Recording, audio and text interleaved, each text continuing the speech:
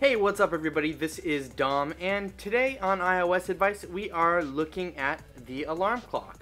There's a new feature in the alarm clock that you might be interested in, and it's in iOS 6.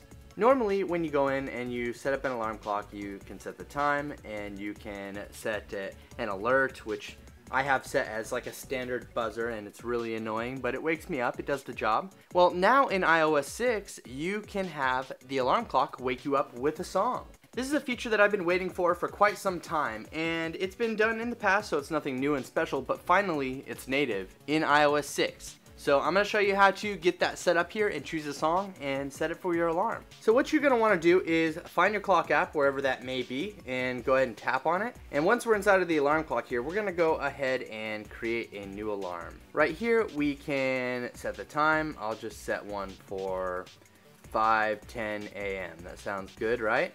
We can set the repeat. You can have it repeat any given day of the week. I'll have it repeat Monday through Friday like that. And then we can set if we want it to have snooze or not. And so we can turn that on or off. And we also have a label. So I'll set this for work. And so now in our sound option is where we can set the alert. So let's go ahead and go inside of there. Now normally you'd have all of these options to pick through and I usually have mine set to alarm which is this guy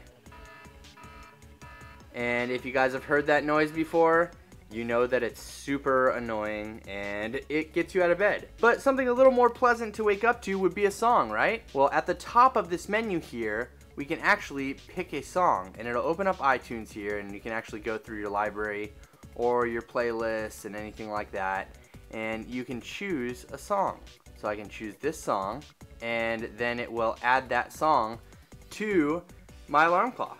And obviously they give you an option to buy more tones up there, but you can pick a song to wake you up. It's the most incredible thing that's happened to the alarm clock since its creation, and I think it's a really cool new feature here in iOS 6. So once you've selected your song here, you can go ahead and back out and then hit save in the top right corner up here and you're good to go. Now when your alarm goes off, it will wake you up with a song instead of a nasty alarm tone or whatever else they had in the stock alarm clock app. So it's a great new feature that's available now in iOS 6 and I suggest you check it out. Please leave a comment below and let us know what you think. Thanks again for watching. My name is Dom and have a great day.